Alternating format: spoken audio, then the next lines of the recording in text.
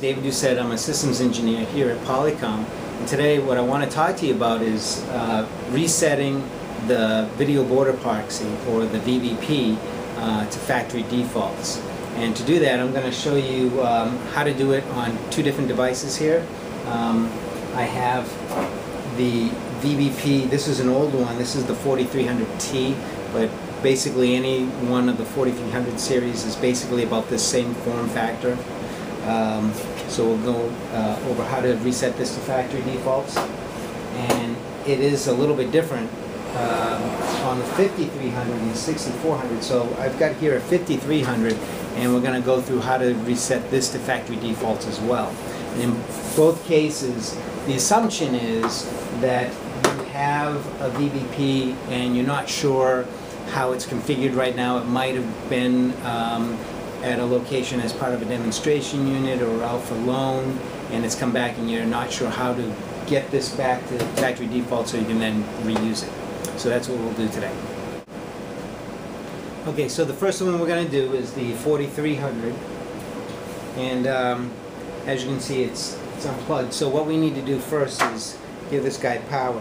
So again, the assumption is that I don't know how to get into this box, right? Um, someone's uh, got a password on there that uh, they forgot or or that person uh, didn't write it down or what have you. Anyway, so I'm plugging it in now and it'll be booting up here. So it's starting its process. Once this thing's booted up, it'll only take just a moment here. Um, the next thing you're going to need to do is get yourself a very sophisticated tool, a paperclip, and uh, on the back of the 4300, you'll see here, so bring this all the way over.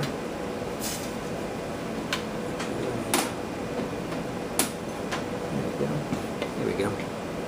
What you see here is there's a little uh, hole right next to where the uh, power supply comes in. And uh, that hole says reset. And so, there. Now my status is, uh, if you can see here, it just popped up green and green. So the status means that the system is booted up. So now what I'm going to do is, I'm going to depress the um, uh, the reset button on the other side of this hole here three times in quick succession and what will happen is the system will automatically reboot and will be in a uh, factory default state. So one, oops, try that again. one, two, three. Alright, so now what I see here is that uh, all three lights here for the, were lit up. Now it's back to power, so it's rebooting now. And uh, within a minute, I guess, uh, sh we should see the status light pop up and uh, once that's done, this thing is at a factory reset state. Um, this is a this particular VBP is one I use often. I even put here um, the instructions on on how to reset it to factory defaults, uh, so I don't forget. But another good thing to remember is that uh, before you do any of this, you should have your license key for the VBP available uh, handy. Um, in my case what I've done is I've printed it out on a big old label here and I've, I've put it at the bottom and so that'll enable this uh, my VBP license it properly. Okay so now my status is back up. I'm at the default value that means my uh, IP address on this is 192.168.1.1 so pretty straightforward and that is done factory reset. Okay, now that we've got that done, let's take a look at how we can factory reset the uh, 5300 series. Now this one can't use the paperclip.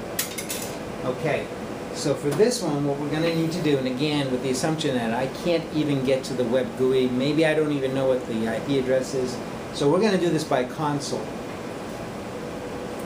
So what I'm going to do is I'm going to take this uh, console cable here. This is a USB to serial cable, and now I've got a, an extension to that to give me the right interface I need. So basically it's just a, a standard DB9 type interface here. So I'm going to plug this into my console. Okay. And the next thing I need to do is give this guy some power.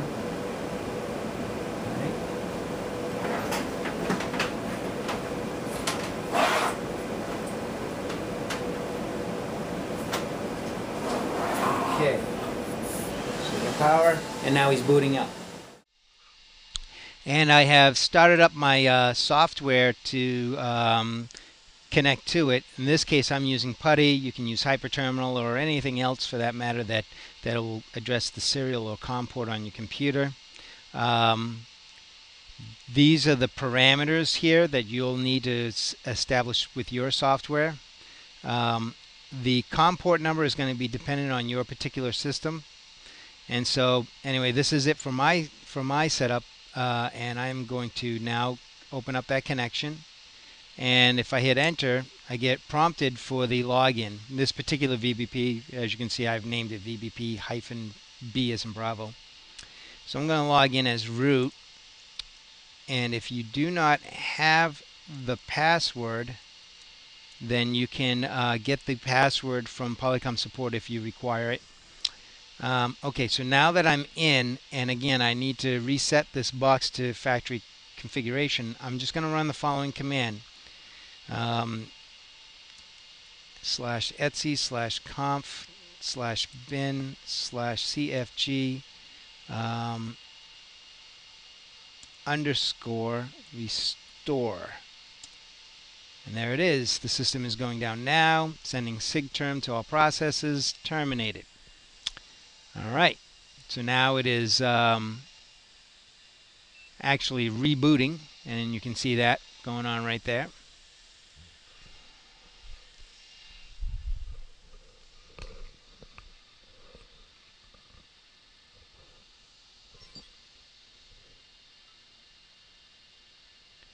And I think you can see right here as well on the um, monitor that I've got hooked up here um, to the front panel. It's also doing performing the memory test, identical to what you're seeing on the screen here. I should be editing this in so you can see on both um, that the memory test is actually occurring on both simultaneously here. Gives you an idea what's happening on the system.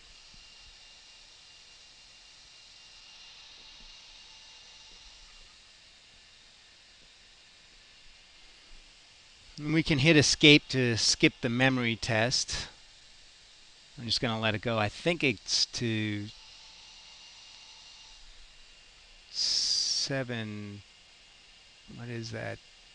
like seven megs. No, that can't be right. Seven gigabytes. 700 megs. Four, five, excuse me, there we go. 5.2. Boom, boom.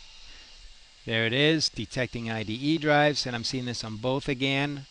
Um, bang. All right. Scanning IDE drives. I'm getting that. No drive attached. Boom, boom. Looks like the BIOS is starting up there.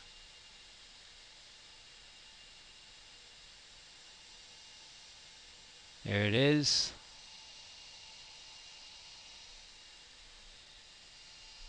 Now I'm not seeing it any longer on my uh, terminal here, but what I'm seeing on the screen, again attached to the front panel of the uh, VBP, it showed the process, and now it says OK booting the kernel, right? And um, I can see a little bit of light activity on the VBP's uh, front panel. And that pretty much looks okay. So what I'm going to do now is I'm going to close my PuTTY connection, that serial connection, and to verify if it's actually started up, um, I'm going to go back into the VBP. And yes, now you can see here the login says V2IU login as opposed to VBP-B like I had before. So this has now been factory restored. And we are done.